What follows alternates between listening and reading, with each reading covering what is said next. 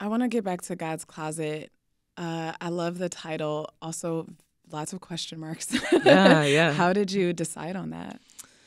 Yeah, so um, I when I moved back here uh, from I, I went to seminary in North Carolina for a few years and um, moved back here around when godscloset was starting, and um, I had had these ideas of um, starting a church actually, and um, and so I feel like there was kind of like overlap and synergy between like these like visions I had for like um, this like church I wanted to start and like godscloset like starting at the same time, and it very much like I feel like the like the ethos behind godscloset is is about like celebrating like trans divinity and about like the ways that we um, like lean into like abundance and like um, like the the the ways that we can like provide and like care for one another as like trans people and as like divine like beings um and um yeah so I, so the the name like